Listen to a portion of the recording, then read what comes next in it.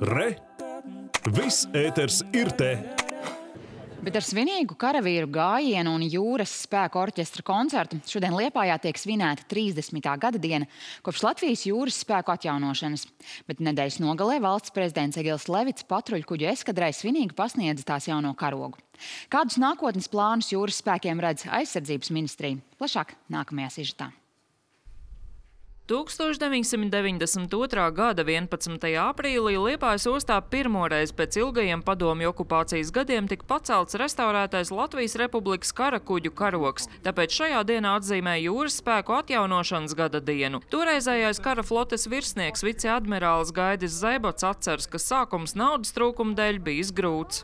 Jūras spēkiem bija nodoti trīs zivju inspekcijas kuģi, no kuriem vajadzēja iztaisīt pirmos kuģus, lai pārņemtu jūras robežas kontroli un pateiktu Krievijas karaflotei, Krievijas armijai un Krievijas robežsargiem, ka mēs atbildam par savu robežu un savu ekonomisko zonu. Gadu gaitā iegādāt gan īsti karakuģi, gan nepieciešamais ekipējums, lai kā NATO dalībvalsts spētu nodrošināt mīnu meklēšanu un iznīcināšanu, krasta apsardzi, glābšanas darbu un citu pienākumu veikšanu. Pakāpeniski audzes arī nacionālajiem bruņotajiem spēkiem atvēlētais budžets. Šogad ir 2,2% no iekšzemes koprodukta, jeb 760 miljoni eiro, no kuriem 273 miljoni tiks ieguldīti attīstībā. Konkrēti jūras spēkiem šogad paredzēts iepirkt modernu modernākas mīnu meklēšanas iekārtas. Kā jūs redzat, arī no Krievijas iebrukuma Ukrainā uh, ir jāgatavojas, un tas, kas ir labāk sagatavojies, tam arī labāk iet. Uz pārējām valsts fondu mēs izskatāmies, es teiktu, uz teicami. Varbūt ne uz izcili, uz teicami. Mūsu galvenais šis te virziens ir pretmīnu kardarbība, un uh, 2017. gadā mēs jau pierādījām, ka, ka esam uh, pilntiesīgi un profesionāļi, lai, lai, lai, lai, lai darītu tā, kā to dara mūsu NATO partneri, jo mēs uzņēmamies uh, pretmīnu kara darbības pirmās NATO grupās uh, komandu vadību, ko mēs arī sekmīgi novadījām.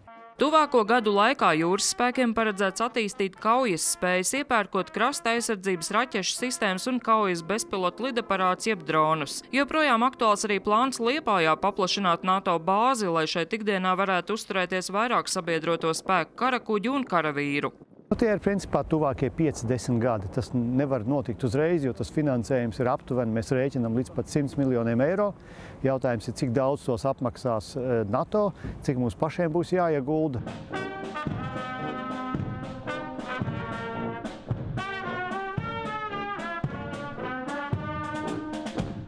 Jūras spēka atjaunošanas 30. gada dienas programma ar svinīgo gājienu orķestra koncertu un jūras spēku vēsturē veltīta izstāde bija veidot tā, lai arī iedzīvotājiem rastos pēc iespējas plašāks iespējas par Latvijas jūras spēkiem un to veiktspēju, kas šobrīd ir svarīgi domājot par vispārējo drošības sajūtu. Ines Ķester, Jānis Goldbergs, TV Kurzeme.